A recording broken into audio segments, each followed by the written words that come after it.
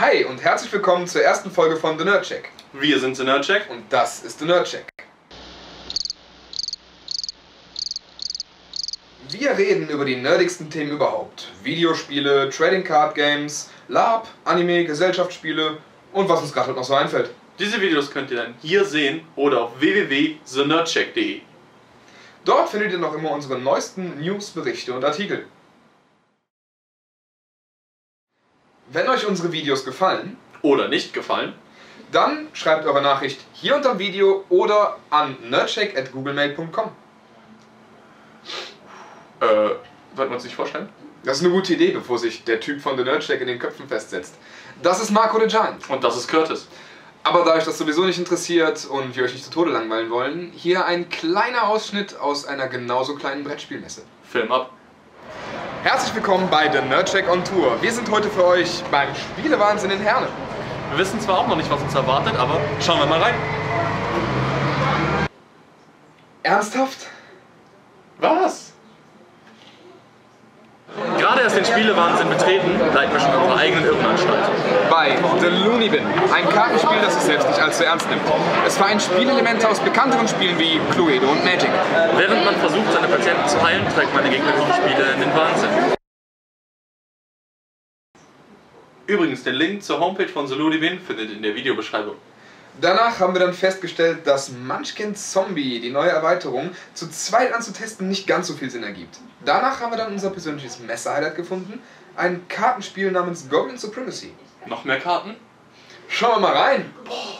Wir sind mittlerweile ein bisschen mehr rumgekommen und haben jetzt ein Spiel gefunden, das uns sehr gut gefallen hat, und zwar Gosu, das steht für Goblin Supremacy. Wir haben bei uns den Markus, äh, einer der Vertreiber von Asmodee, die das Spiel in Umlauf bringen. Und hallo erstmal Markus. Hi, grüß dich. So, äh, wann ist das Spiel rausgekommen? Das Spiel ist äh, letztes Jahr zu Essen rausgekommen auf Ja. der Spielemesse, da allerdings erst auf Englisch. Die deutsche Variante ist jetzt ganz neu und so seit knapp ein, zwei Monaten jetzt erst auf dem Handel erhältlich. Okay. Äh, du sagst im Handel erhältlich, wo kann ich dafür hingehen, wenn ich das haben möchte? Da es ein bisschen spezieller ist, bekommt man es momentan halt im gut sortierten Spieleladen oder halt im Internet bei den einschlägigen Internet. Okay. Das ist äh, Goblin Supremacy. Das heißt, es geht da hauptsächlich um Goblins.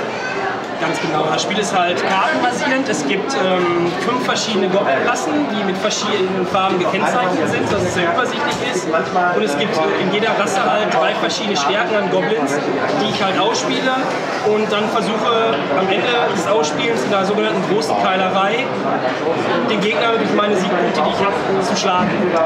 Siegpunkte heißen Siegpunkte, weil sie in das Spiel im Endeffekt entscheiden. Ähm, man bekommt halt einen Sieg, wenn man gewinnt und der Hauptsieger des kompletten Spiels ist, wenn man drei große Keilereien gewonnen hat oder durch Sondersiegbedingungen, die im Spiel halt teilweise zu tragen kommen.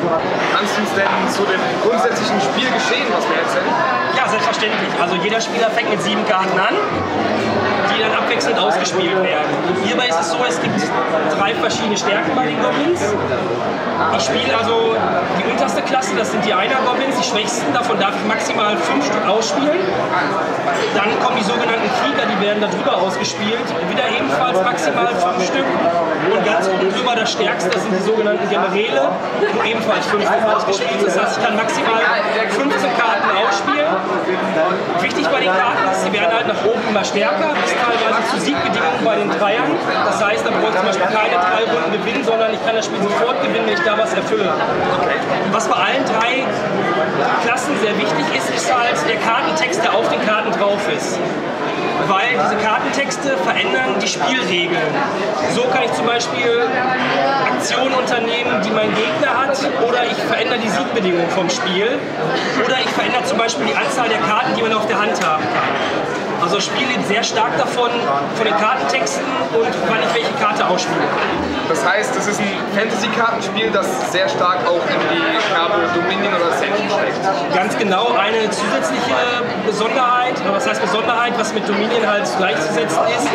Gosu war eigentlich mal als Sammelkartenspiel wie Magic etc. geplant gewesen und hier hat sich dann ähm, Monster Games dazu entschieden, das Ganze so rauszubringen, dass es Erweiterungspacks ähnlich wie bei Dominion geben wird. Die Box ist sehr groß, ähm, der Kartenstapel, es ist noch reichlich Luft in der Box drin, so dass wenn die Erweiterungen kommen, die halt in die Box mit rein können. Ich kann noch nicht genau sagen, wann jetzt die nächsten Erweiterungen kommen, aber das wird sich definitiv weiter ausbauen. Ein bis zwei sind geplant. Ich kann nur nicht genau sagen, wann die kommen werden. Okay. Ähm, wem würdest du Gosu empfehlen? Für wen ist das was? Also Gosu ist jetzt nicht das ultimative Anfänger-Familienspiel. Es ist schon äh, an die Klientel gerichtet, mehr so Vielspieler oder Trading-Card-Spieler und die werden halt eine helle Freude haben. Der Einstieg ist halt auch nicht ganz so einfach, da hilft es halt, sich das Ganze einmal erklären zu lassen oder auf einen guten Blog zu gehen, der einen guten Testbericht darüber geschrieben hat. Seht ihr? Gut, ähm, ich denke, das war es aus äh, unserer Richtung. Ähm, es hat uns wirklich sehr gut gefallen. Bisher würde ich sagen, das beste Spiel auf der Messe. Und äh, ich danke für deine Zeit. Ja, lieb gerne immer wieder. Und viel Spaß noch. Dankeschön. Gosu, Nerdcheck bestanden. Auf thenerdcheck.de findet ihr demnächst auch noch einen ausführlichen Bericht zu Gosu. Außerdem zeigen wir euch jetzt noch, wo wir ganz groß abgesandt haben. Glücksspiel kann süchtig machen. Wir empfehlen niemandem daran teilzunehmen.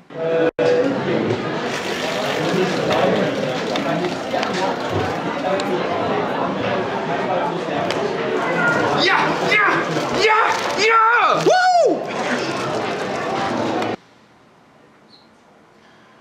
Ernsthaft, ja? Schauen wir doch mal rein. Das war einmal zu viel. Das tat ziemlich weh. Und jetzt die Blitzrunde. Deine Top 3 Spiele in den letzten 10 Jahren. Amnesia, Heavy Rain, Gothic. Und wem das zu schnell ging, Amnesia The Dark Descent ist das wohl gruseligste Spiel aller Zeiten. Es kam 2010 auf den Markt und hat seit Release über 12 Preise und Awards abgesahnt, unter anderem den beliebten ersten Platz beim Independent Games Festival.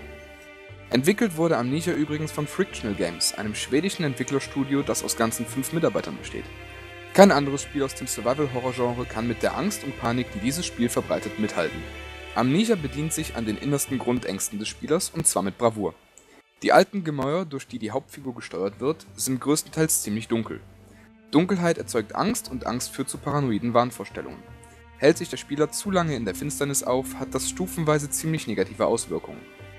Diese fangen bei einem leicht verschwommenen Bildschirm an, lassen den Spieler Schritte, Schreie oder sich öffnende Türen hören und sehen, wo überhaupt keine sind, und enden oft mit einem Ohnmachtsanfall begleitet von einem Tinnitusartigen Piepsen. Wie gut, dass wir eine Öllampe im Inventar haben, die wir nach und nach mit Öl befüllen und anzünden können, um die Umgebung ein wenig aufzuhellen. Einziger Nachteil, Licht in jeglicher Form lockt Monster an und denen will man in Amnesia ganz sicher nicht begegnen. Zumal wir keine Möglichkeit haben, uns physisch zu verteidigen. Die grandiose akustische Untermalung trägt außerdem ihren ganz eigenen Anteil zum Panikaufbau bei. Die meisten haben bei einem Spielwochenende im Freundeskreis mit bekannteren Titeln schon mal den Controller in die Ecke geworfen mit den Worten "Puh, Ich brauche eine Pause. Bei Amnesia treten diese Pausen alle 15 bis 20 Minuten auf. Meistens hilft ein starker Kaffee zum Nervenberuhigen dann für die nächste Viertelstunde. Meistens.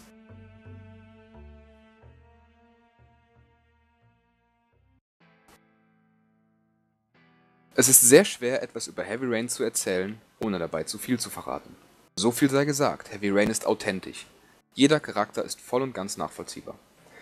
Als Ethan Mars versucht der Spieler dessen Sohn zu finden, der sich in den Fängen des mysteriösen Origami-Killers befindet.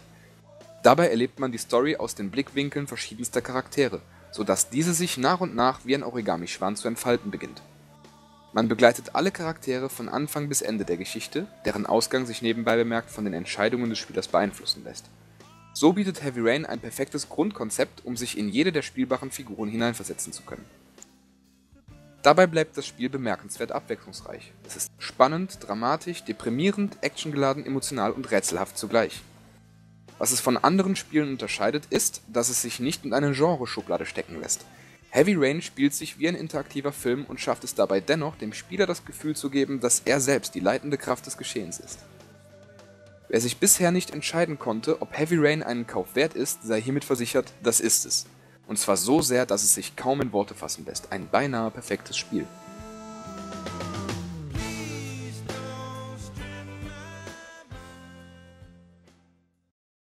Gothic ist ein Rollenspiel made in Germany, nämlich aus dem Hause Piranha Bytes. Es ist ein sogenanntes Open-World-Game. Das heißt, wenn ich mit einem zerrissenen Shirt und einem Stock ausgerüstet an allen anfänglichen Gebieten vorbeireisen möchte, um mich in einem Drachenort umzusehen, kann ich das tun. Vorausgesetzt, ich bin gut im Haken schlagen, denn selbst die später harmlosen Wölfe one-hitten mich zu diesem Zeitpunkt noch ziemlich leicht. Eines der Markenzeichen von Gothic sind die unterschiedlichen Fraktionen, denen ich mich relativ zum Anfang des Spiels anschließen kann. Die Story des Spiels bleibt dabei gleich, jedoch ist der Blickwinkel je Fraktion ein völlig anderer. Das Fehlen von digitalen Zäunen, die freie Fraktionswahl und die bei jeder Konversation wählbaren Antwortmöglichkeiten vermitteln dem Spieler ein einzigartiges Gefühl von Freiheit, wie es wohl kein anderes Spiel tut. Oft im gleichen Atemzug erwähnt wie Gothic ist Risen, welches aus derselben Spieleschmiede stammt wie zumindest drei der vier Gothic-Teile. Spielerisch reiht es sich exakt an die Spielereihe seines großen Bruders an. Alles in allem zwei Spiele, von denen man in Zukunft noch Großes erwarten kann. Vor allem, da nach dem vierten Gothic-Teil die Produktionsrechte wieder bei Piranha Bytes liegen.